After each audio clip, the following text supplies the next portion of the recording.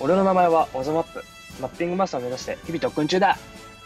わしの名前はマッピング博士じゃ。博士、早速だけど、マッピングって何なんですか？いい質問じゃ。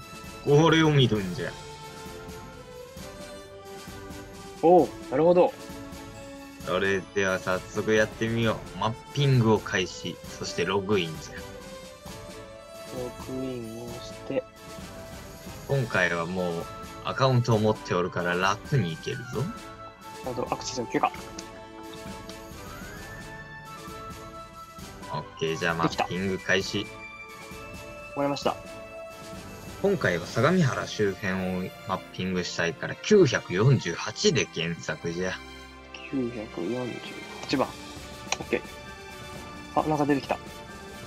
出てきたの。それでは地図に近づいてマッピングしたいところを指定してあげるんじゃ。じゃあ、今回はここにします。うん。それではマッピング開始じゃ。マッピング開始。リーダー起動。顔どう？それでは早速やってみるんじゃ。まずはエリアを選択し、建物を囲むんじゃ。選択して、囲んで、最後はダブルクリック。うん。君は今建物をマッピングしたから次に建物全般を選択してあげよう。建物全般、これか。でも博士、ちょっとこれ、いびつな形になっちゃってますよ。うん、いい質問じゃ。そういう時は、除効果を使う。日本の建物は基本的に直角な建物ばっかりじゃからな。全部やっておいて損はないぞ。ショートカットキー9を使うと楽じゃ。なるほど。9。ほんとだ、綺麗になった。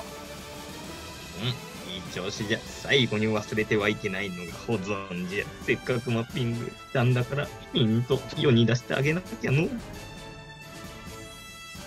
これでアップロード。うん。いい感じじゃ。あ、できた。どんどんやるぞ。あれできない。なんでだ？今回はエリアではなくポイントを選択してしまったせいじゃの。なるほど。俺、なんだか、マッピングマスターに近づいた気がするぜ。どんどんやるぞ。うんその調子じゃの。こうして。こうして。うん。うん。こうして。どいたますんじゃ。何ですか、博士。今いいところなのに。見てみろ。家と家がくっついてしまっておるぞ。ほんとだ。ここはきちんとカットしてあげてから保存するんじゃ。わかりました。こうやって。道路と繋がってしまうこともあるから気をつけるんじゃぞ。なるほど、そんなこともあるんですね。気をつけます。うん。建物を選択して、9でチョコか。うんそして、うん教えてもらった保存とアップロード。うんとても良い。できた。俺、だいぶマッピングのこと分かってきたような気がします。うん新しいマッピングマスターが生まれるのもそう遠くないようじゃの。いや、しかしマッピングとは本当に奥深いものじゃの。はあ、なるほど。地球を先人が積み上げてきた知をもってして記号化データ化することで人生と家と受け継がれてい